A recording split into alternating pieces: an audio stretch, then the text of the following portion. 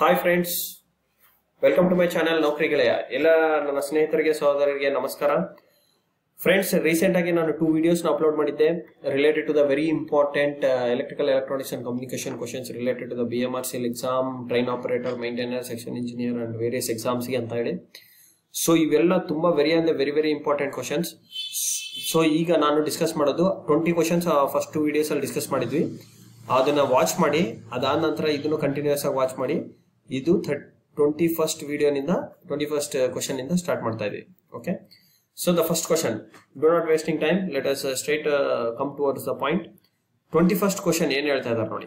When inductor is fully charged it acts as dash circuit ಇದು ತುಂಬಾ simple ಆದಂತ question inductor ಅಂದ್ರೆ ಯಾವ ತರ ಇರುತ್ತೆ? ಈ ತರ ಇರುತ್ತೆ. ಕರೆಕ್ಟಾ ಇಲ್ಲೇನು ಪಾಸಿಟಿವ್ ನೆಗೆಟಿವ್ ಫುಲ್ಲಿ ಚಾರ್ಜ್ ಆದ ನಂತರ. ಸೊ ಇಲ್ಲಿ ನಾವು ಏನ್ ಮಾಡ್ತೀವಿ? ವೋಲ್ಟೇಜ್ ಸೋರ್ಸ್ ಕನೆಕ್ಟ್ ಮಾಡ್ತೀವಿ. ಓಕೆ ಇಲ್ಲಿ ಟಿ ಸಿ ವೋಲ್ಟೇಜ್ ಸೋರ್ಸ್ನ ಕನೆಕ್ಟ್ ಮಾಡ್ತೀವಿ, ಇದು ಇಂಡಕ್ಟರ್ ಆಗಿರುತ್ತೆ.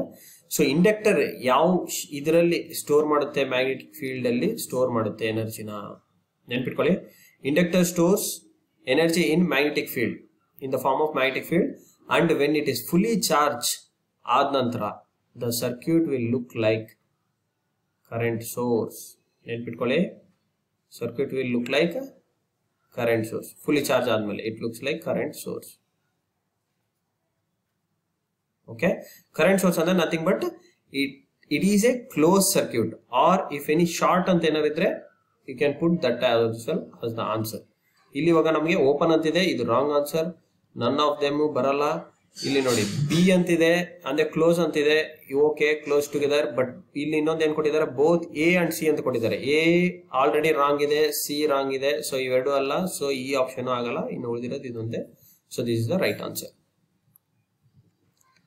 Similarly, the second question is like when capacitor is fully charged, it acts as dash circuit. ನೋಡಿ ಕೆಪಾಸಿಟರ್ ಅಂತಂದ್ರೆ ಯಾವ ತರ ಇರುತ್ತೆ? ಸಿಂಬಲ್ ಈ ತರ. ಎರಡು ಸೇಮ್ ಆಗಿರುತ್ತೆ ಪೊಲಾರಿಟಿ ನೀವು ಫಿಸಿಕಲ್ ಆಗಿ ಚೆಕ್ ಮಾಡಬೇಕು ಯಾವ್ದು ಪಾಸಿಟಿವ್ ಯಾವ್ದು ನೆಗೆಟಿವ್ ಅಂತಂದ್ರೆ ಟರ್ಮಿನಲ್ ಈ ಲೆಂತ್ ಇದೆಯಲ್ಲ ಲೀಡ್ ಲೆಂತ್ ಲೆಂತ್ ಆಗಿರುತ್ತೆ. Whichever the lead is of bigger length that is treated as positive whichever the lead length smaller that is treated as negative okay this is a capacitor capacitor ಇರುತ್ತೆ? Middle ಅಲ್ಲಿ ಏನಿರುತ್ತೆ? Direct strength ಇರುತ್ತೆ. Just ಬೇಸಿಕ್ಸ್ನ ಹೇಳ್ತಾ ಇದ್ದೀನಿ. Okay ಈಗ ಕೆಪಾಸಿಟರ್ಗೆ ನಾವು ಸಪ್ಲೈ ವೋಲ್ಟೇಜ್ನ ಫೀಡ್ ಮಾಡಿದ್ರೆ ಏನಾಗುತ್ತೆ? ಸೊ ಸಪ್ಲೈ ವೋಲ್ಟೇಜ್ನ ಫೀಡ್ ಮಾಡಿದ್ರೆ ಕೆಪಾಸಿಟಿ ಏನಾಗುತ್ತೆ? ಚಾರ್ಜ್ ಆಗುತ್ತೆ. ಅದ್ರ ವೋಲ್ಟೇಜ್ ಏನಾಗುತ್ತೆ? ವೋಲ್ಟೇಜ್ ಚಾರ್ಜ್ ಆಗುತ್ತೆ ಸ್ಟಾರ್ಟ್ ಮಾಡುತ್ತೆ with respect to time okay with respect to time voltage charge ಆಗುತ್ತೆ. ಆಗ ಕಂಪ್ಲೀಟ್ ಆಗೋದು ಒಂದು ವೋಲ್ಟೇಜ್ ಸೋರ್ಸ್ ಆಗಿರುತ್ತೆ. ಏನಾಗುತ್ತೆ? ವೋಲ್ಟೇಜ್ ಸೋರ್ಸ್ ಆಗುತ್ತೆ. ಓಕೆ? ಇದೊಂದು ಸೋರ್ಸ್. ವೋಲ್ಟೇಜ್ ಸೋರ್ಸ್ ತರ ಆಗುತ್ತೆ. Voltage source. So voltage source ಅಂತಂದ್ರೆ ಏನ್ ಮೀನಿಂಗ್ ವೋಲ್ಟೇಜ್ ಸೋರ್ಸ್ ಅಂತಂದ್ರೆ ಏನೋ ಸಮ್ ವೋಲ್ಟೇಜ್ ಇಲ್ಲಿ ಎಷ್ಟು ವೋಲ್ಟೇಜ್ ಇರುತ್ತೆ, ಅಷ್ಟು ವೋಲ್ಟೇಜ್ ಚಾರ್ಜ್ ಆಗಿರುತ್ತೆ ಅದು. ಫೈವ್ ವೋಲ್ಟ್ಸ್ ಅಂತಂದ್ರೆ ಫೈವ್ ವೋಲ್ಟ್ಸ್ಗೂ ಚಾರ್ಜ್ ಆಗುತ್ತೆ. ಸೊ ಫೈವ್ ವೋಲ್ಟ್ಸ್ ಚಾರ್ಜ್ ಆಯ್ತು ಅಂತಂದ್ರೆ input voltage ಇಸ್ಕೋಸ್ಟ್ output voltage so voltage full ಆಗಿ ಚಾರ್ಜ್ ಆಯ್ತು ಅಂದ್ರೆ circuit will become like open circuit not a short short ಆಗಲ್ಲ ರಾಂಗ್ ಕ್ಲೋಸ್ ಅಂತ ಕೊಟ್ಟಿದ್ದಾರೆ. ಕ್ಲೋಸ್ ಅಂದ್ರೆ same similar meaning of short that is also wrong both A and B ಅಂತ ಕೊಟ್ಟಿದ್ದಾರೆ. B already wrong ಇದೆ. ಇದನ್ನು ಅಲ್ಲ. So the only answer correct is it's open so when capacity is fully charge it acts as a open circuit next how much energy does two hundred watts ಇದೊಂದು device ಕೊಟ್ಟಿದ್ದಾರೆ. ಏನು? ಯಾವುದೋ ಒಂದು element ಕೊಟ್ಟಿದ್ದಾರೆ. Two hundred device consume power when it is used for five hours ನೋಡಿ two hundred watt ಅಷ್ಟು ಒಂದು ಎಲಿ, ಒಂದು ಎಲಿಮೆಂಟು ಎಕ್ವಿಪ್ಮೆಂಟು ಅದನ್ನು ನಾವು ಡಿವೈಸಲ್ಲಿ ಕನೆಕ್ಟ್ ಮಾಡಿದೀವಿ ಅಂತಂದ್ರೆ ಟೂ ಹಂಡ್ರೆಡ್ ವ್ಯಾಟ್ಸ್ ಅಷ್ಟು, ಎಷ್ಟು? ಟೂ ಹಂಡ್ರೆಡ್ ವ್ಯಾಟ್ಸ್ ಅಷ್ಟು ಒಂದು ಡಿವೈಸ್ ಯಾವುದೋ ಫ್ಯಾನೋ ಏನೋ ಒಂದು ಅನ್ಕೊಳ್ಳಿ. ಟೂ ಹಂಡ್ರೆಡ್ ವ್ಯಾಟ್ಸ್ ಅಷ್ಟು ಫ್ಯಾನು ಎಲೆಕ್ಟ್ರಿಕ್ ಬಲ್ಬು ಯಾವುದೋ ಒಂದು. ಎಷ್ಟು ತಾಸಾಗಿ ನಾವು ಕನೆಕ್ಟ್ ಮಾಡಿದೀವಿ?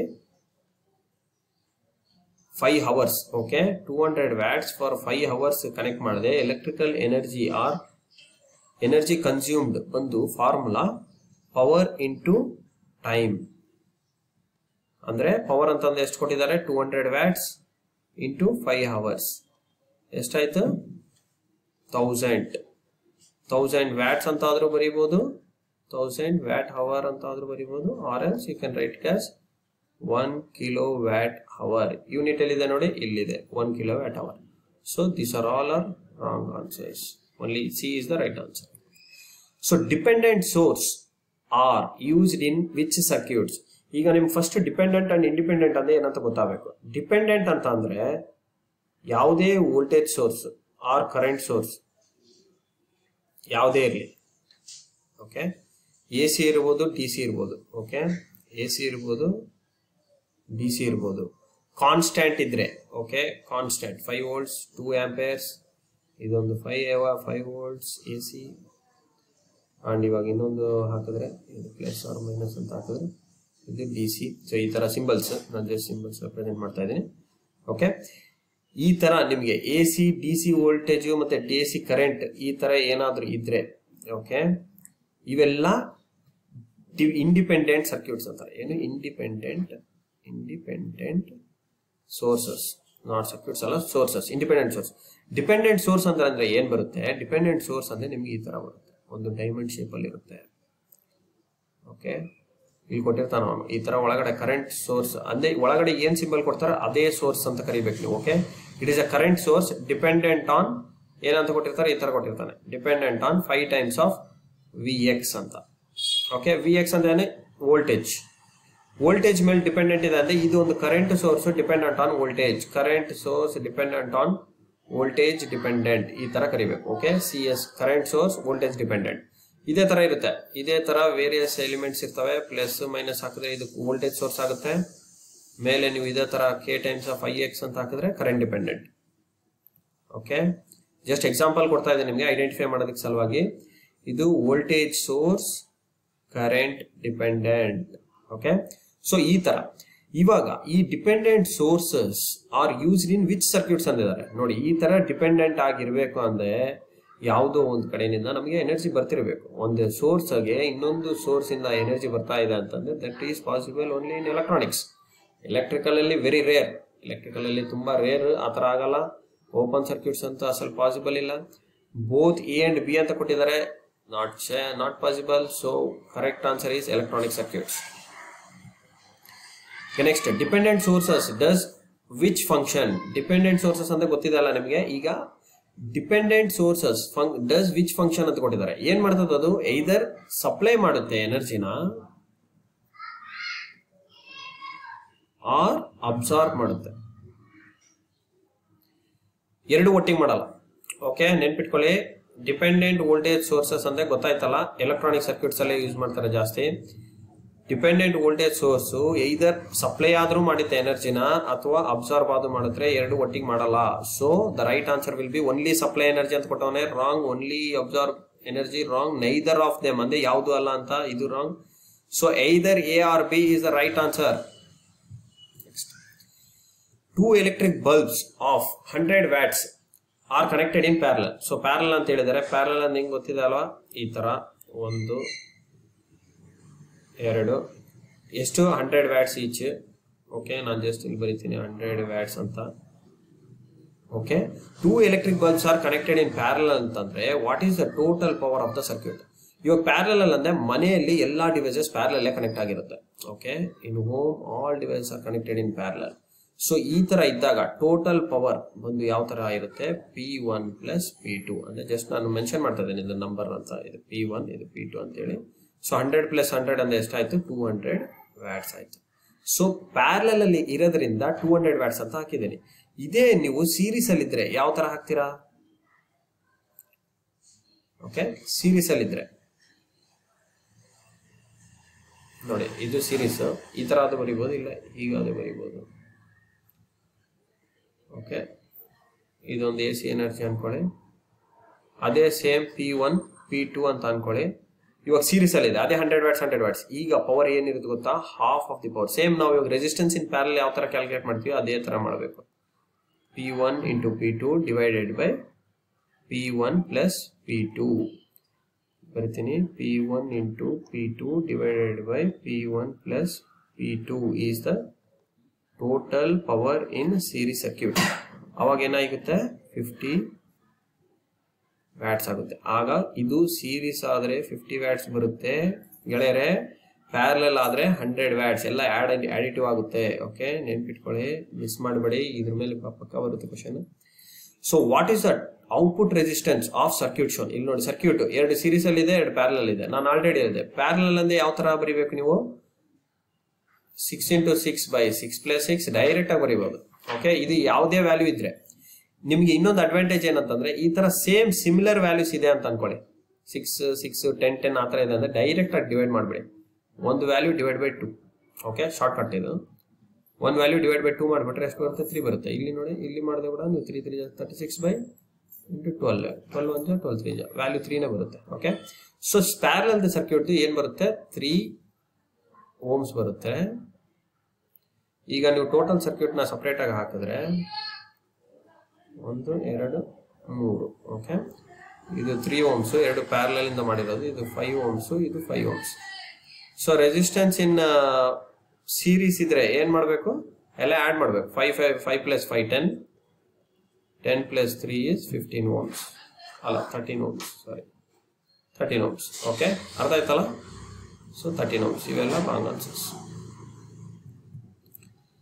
next current flowing through open circuit will be of what value ನೋಡಿ, ಇಲ್ಲಿ current flowing through open circuit ಅಂದಿದೆ so open circuit ಅಂದ್ರೆ ನಿಮ್ಗೆ ಗೊತ್ತಾಗ್ಬೇಕು ಮೈಂಡಲ್ಲಿ ಫಸ್ಟ್ ಬರಬೇಕು. ಏನು? ಸರ್ಕ್ಯೂಟ್ ಎಲ್ಲೋ ಓಪನ್ ಆಗ್ಬಿಟ್ಟಿದೆ. ಇಲ್ಲಿ ಸೋರ್ಸ್ ಇದೆ. ಮನೆಗೆ ಪವರ್ ಸಪ್ಲೈ ಕೊಟ್ಟಿದ್ದೀರಾ? ಬಟ್ ಸರ್ಕ್ಯೂಟ್ ಓಪನ್ ಇಟ್ಕೊಂಡು ಕೊಟ್ಟಿದ್ದೀರಾ? ಸರ್ಕ್ಯೂಟ್ ಓಪನ್ ಇದೆ ಅಂತಂದ್ರೆ ನಿಮಗೆ ಕರೆಂಟು ಫ್ಲೋ ಆಗಲ್ಲ. ಕರೆಂಟ್ ವಿಲ್ ಬಿ ಝೀರೋ ಅದೇ ಈಗ ಶಾರ್ಟ್ ಸರ್ಕ್ಯೂಟ್ ಇದೆ ಅನ್ಕೊಡೆ ಓಕೆ ಯಾವುದೋ ಒಂದು ಡಿವೈಸ್ ಇದೆ. ಅದೇ ವೋಲ್ಟೇಜ್ ಕೊಟ್ಟಿದ್ದೀರಾ? ಅಂತಂದಾಗ ನಿಮಗೆ ಕರೆಂಟ್ ಇರುತ್ತೆ. ಎಷ್ಟಿರುತ್ತೆ? ಐ ಈಸ್ ಟು ಇದು ವಿ ಅಂತ ತಗೊಂಡ್ರೆ ವಿ ಬೈ ಆರ್ ಅಷ್ಟು ವ್ಯಾಲ್ಯೂ ಅದೆಷ್ಟಿರುತ್ತೆ ಅಷ್ಟು. ಓಕೆ ಎಷ್ಟು ಬರುತ್ತೆ? ಅಷ್ಟು. ಬಟ್ ಫಾರ್ಮುಲಾ ಅಪ್ಲಿಕೇಬಲ್ ಆಗುತ್ತೆ. ಬಟ್ ಇಲ್ಲಿ ನೋಡಿ ಓಪನ್ ಇದ್ದಾಗ ನಿಮಗೆ ರೆಸಿಸ್ಟೆನ್ಸೇ ಇಲ್ಲ. ಸೊ ರೆಸಿಸ್ಟೆನ್ಸ್ ಏನಿರುತ್ತೆ? ರೆಸಿಸ್ಟೆನ್ಸ್ ವ್ಯಾಲ್ಯೂ ಇನ್ಫಿನಿಟಿ ಇರುತ್ತೆ. ಸೊ ಆಗ ನೀವು I is equals to V by R ಅಂತ ಬರ್ಕೊಂಡ್ರೆ ವಿ ನಿಮಗೆ ವ್ಯಾಲ್ಯೂ ಇದ್ರೂ ಸಹ ಇವಾಗ ವಿ ಬಂದ್ಬಿಟ್ಟು ಒಂದು ಟೆನ್ ವೋಲ್ಟ್ಸೋ ಏನು ಅಂತ ತಗೊಂಡ್ರೆ ರೆಸಿಸ್ಟೆನ್ಸ್ ಇನ್ಫಿನಿಟಿ ಅಂತ ಹಾಕಿದ್ರೆ ಐ ಬಂದ್ಬಿಟ್ಟು anything denominator of infinity the value will be treated as zero so ಈ ತರ ನಿಮಗೆ ವ್ಯಾಲ್ಯೂ ಝೀರೋ ಬರುತ್ತೆ. So not all other functions are wrong and what will be the voltage across short circuit element ಇವಾಗ ನಾವು ಏನ್ ಮಾಡಿದ್ವಿ? Previous question ಅಲ್ಲಿ current flowing in open circuit ಏನಂತ ನೋಡಿದ್ವಿ. ಈಗ ನೋಡಿ what will be the voltage across short circuit element ಇವಾಗ ಒಂದು ಎಲಿಮೆಂಟ್ ಹಾಕೊಂಡ್ರೆ ಇಲ್ಲಿ ವೋಲ್ಟೇಜ್ ಸೋರ್ಸ್ ಇದು ವಿ ಎಸ್ ಇಲ್ಲೊಂದು ಡಿವೈಸ್ ಇತ್ತು ಅನ್ಕೊಳ್ಳಿ. ಆರ್ ಅಲ್ಲಿ ಯಾವುದೋ ಒಂದು ಲೋಡ್ ಇತ್ತು. ಇಲ್ಲಿ ಕರೆಂಟ್ ಫ್ಲೋ ಆಗ್ತಾ ಇತ್ತು ಮುಂಚೆ ಓಕೆ ಒಂದು ಜಸ್ಟ್ ಎಕ್ಸಾಂಪಲ್ ಕರೆಂಟ್ ಫ್ಲೋ ಆಗ್ತಾ ಇರುತ್ತೆ. ಈಗ ಇದು all of a sudden short circuit ಆಗ್ಬಿಡುತ್ತೆ. ಏನು? ಈ ಆರ್ ಇದೆಲ್ಲ ಈ ಆರ್ ಅನ್ನೋದು ಶಾರ್ಟ್ ಸರ್ಕ್ಯೂಟ್ ಆಗುತ್ತೆ. ಶಾರ್ಟ್ ಸರ್ಕ್ಯೂಟ್ ಅಂದ್ರೆ ಗ್ರೌಂಡ್ ಗ್ರೌಂಡೋ ಏನೊಂದು ಆಯ್ತು ಅನ್ಕೊಳ್ಳಿ. ಓಕೆ ಗ್ರೌಂಡ್ ಫಾಲ್ಟು ಯಾವುದೋ ಒಂದು ಫಾಲ್ಟ್ ಇಂದ ಶಾರ್ಟ್ ಸರ್ಕ್ಯೂಟ್ ಆಗಿರುತ್ತೆ ಓಕೆ ಶಾರ್ಟ್ ಸರ್ಕ್ಯೂಟ್ ಆದಾಗ ನೀವು ಇಲ್ಲಿಗಿನ ಹೋಗಿ ವೋಲ್ಟೇಜ್ನ ಮೆಷರ್ ಮಾಡಿದ್ರೆ ನಿಮಗೆ ವೋಲ್ಟೇಜ್ ಏನ್ ಬರುತ್ತೆ? ಝೀರೋ ಬರುತ್ತೆ. Okay any anything which you measure across a short circuit element is zero okay not unity not infinity so and the last question of this session reciprocal of resistance impedance reactance permeance ಮ್ಯಾ permeability ಇವೆಲ್ಲ important so first one by one ಹೇಳ್ತೀನಿ ನಾನು. Resistance reciprocal ಏನಿರುತ್ತೆ ಅಂತಂದ್ರೆ conductance ಅಂತ ಕರೀತಾರೆ. Conductance okay reciprocal of resistance one by R ಅಂದ್ರೆ conductance C ಅಂತ ಕರಿಬೋದು ನೀವು. ಒನ್ ಬೈ ಇಂಪಿಡೆನ್ಸ್ ಇಂಪಿಡೆನ್ಸ್ ಅಂದ್ರೆ ಸಿಂಪಲ್ ಝೆಡ್ ಓಕೆ ಇಂಪಿಡೆನ್ಸ್ ಅಂತ ಅಂದ್ರೆ ಅದನ್ನ ಅಡ್ಮಿಟ್ಯಾನ್ಸ್ ಅಂತ ಕರೀತಾರೆ. ಅಡ್ಮಿ ಟ್ಯಾನ್ಸ್ ವೈ ಆದ್ಮೇಲೆ one by reactance okay one by reactance ಅಂತ ಅಂದ್ರೆ reciprocal of reactance is called as susceptance ಈಗ one by permeance reciprocal of permeance is called reluctance. And reciprocal of permeability is called magnetic magnetic relativity. ಇವು ನೆನ್ಪಿಟ್ಕೊಳ್ಳಿ okay ಎಲ್ಲ ರೆಸಿಪಿಕಲ್ಸ್ ನೆನ್ಪಿಟ್ಕೊಳ್ಳಿ. ಗೆಳೆಯರೆ, ಈ ಚಾನಲ್ನ ಇನ್ನೂ ನೋಡ್ತಾ ಇರಿ. ಇದೇ ತರ ತುಂಬಾ ವಿಡಿಯೋಸ್ ಹಾಕ್ತೀನಿ. ಸೊ ಥ್ಯಾಂಕ್ಸ್ ಫಾರ್ ಸಬ್ಸ್ಕ್ರೈಬಿಂಗ್ ನಿಮ್ಮ ಫ್ರೆಂಡ್ಸ್ಗೆಲ್ಲ ಶೇರ್ ಮಾಡಿ. ಇನ್ನು ಇದೇ ತರ ವಿಡಿಯೋಸ್ ಮಾಡ್ತಾ ಇರ್ತೀನಿ. ತುಂಬಾ ಕ್ವಶನರೀಸ್ ಮಾಡ್ತೀನಿ ನಾನು. Very very important questionnaires exam point of view ಬರೋಕ್ಕಂತ questionnaires so subscribe ಮಾಡಿ ವಾಚ್ ಮಾಡಿ ಎಂಜಾಯ್ ಮಾಡಿ. Get your job at the very earliest wish all the best guys